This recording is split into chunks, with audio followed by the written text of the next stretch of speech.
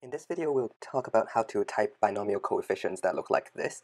Now, normally, if you want just a simple superscript or a subscript, it is very easy to do. You just need the caret and an underscore. But if you want a superscript in front of the number, it is a little bit more tricky. So there are actually two ways to do it. The, there's a long way and there's a short way. So the long way is just using some of the basics of the Unicodes we have introduced in one of the previous videos, which will you can see in the link below. So let's first learn how to get the scripts in front of the C. So do an open brackets and underscore, double quotes, and double quote, and do another caret and double quote, then double quote again. Now you'll get two placeholders in front of the C. Okay, what if you don't want the bottom one?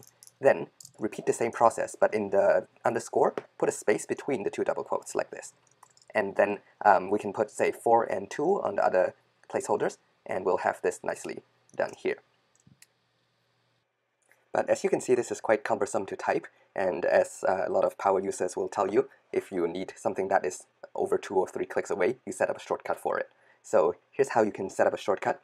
So first of all, uh, this is the result, how it will look. So all I have to do is type choose, and then space, and it'll give me the template. And I can go in and just substitute in the numbers. Or alternatively, I can type in my shortcut, choose, and then I can actually modify, insert my numbers in line first, and then go to the end and hit space and compile it directly. So I don't have to go back into filling in the numbers. So here's how you set it up. So first you need to create a general template so that uh, when you type in whatever your shortcut syntax for it, it'll pull up that template. And then uh, what you need to do is to highlight this equation so you can hover above it and then click on the little uh, three dots on the left over there. And I like to right click and also go and copy this just in case, but technically just highlighting will do. Now go to Tools and then go to Autocorrect Options and then find Math Autocorrect and then you'll see what you highlighted is already in the with box.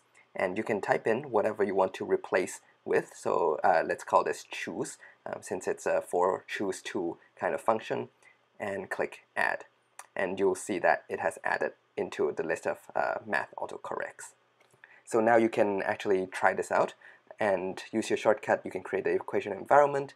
Now you can just type your uh, syntax, choose, and do a space right after. It will pull out that template. And you can go in and modify it and fill in the numbers you need.